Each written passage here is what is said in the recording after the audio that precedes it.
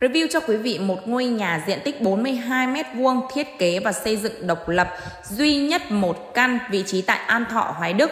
Với cái ngôi nhà này thì nó sát với chung cư Thăng Long Victory gần với cạnh khu đất đấu giá, di chuyển có đúng 10 phút là ra tới trung tâm Mỹ Đình.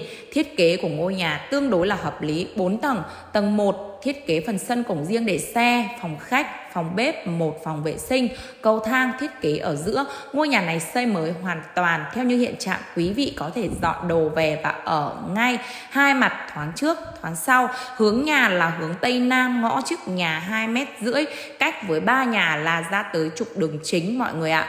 Và với cái thiết kế thì tương đối là hợp lý, 4 phòng ngủ, tầng 2, tầng 3, mỗi một tầng 2 phòng cộng với một phòng vệ sinh ở giữa, cầu thang giữa.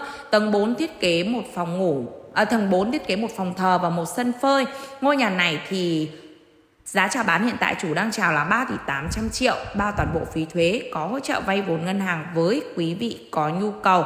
Rất phù hợp với bác nào đi làm ở Mỹ Đình, Cầu Giấy, Nam Từ Liêm và Hà Đông nha và một cái giá bán đấy thì có hỗ trợ vay vốn ngân hàng, thiết kế như thế nào thì quý vị đến xem y như vậy. Một căn độc lập duy nhất, mọi người muốn tìm hiểu, biết thêm thông tin, chi tiết hơn nữa, đi xem nhà thực tế. Vui lòng liên hệ trực tiếp nhà tốt để được tư vấn và đi xem nhà nhé xin chào và hẹn gặp lại quý vị ở những video tiếp theo.